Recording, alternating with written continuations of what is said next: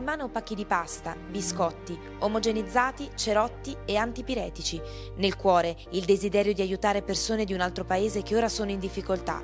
Sono i bambini e i ragazzi dell'Istituto Comprensivo Pascoli, che oggi hanno partecipato alla raccolta viveri per sostenere le famiglie ucraine sfollate. È stato commovente, erano felici di poter contribuire a rendere un pochino meno difficile la realtà dei loro coetanei in Ucraina. Bambini, ragazzi, genitori tutti insieme per un unico obiettivo. Abbiamo chiesto ai nostri genitori e ai nostri alunni di portare dei beni di prima necessità. Come vi siete organizzati questa mattina? Allora, con l'aiuto delle associazioni genitori abbiamo organizzato nei tre plessi dei punti di raccolta e i bambini e i ragazzi, come vede, hanno portato generi alimentari, prodotti per l'igiene personale, prodotti per i bambini e medicinali.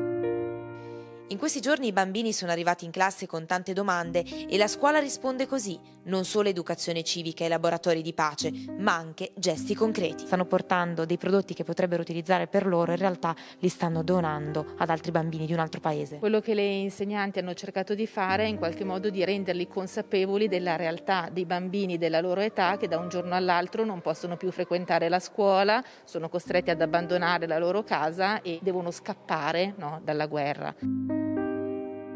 Qual è la destinazione di tutti questi viveri? Saranno portati al Consolato Generale dell'Ucraina e da qui saranno portati in Polonia e smistati nei centri di raccolta delle persone sfollate nell'ovest dell'Ucraina. Come hanno risposto i bambini a questa iniziativa? Erano molto emozionati e compiti, per loro era un gesto importante.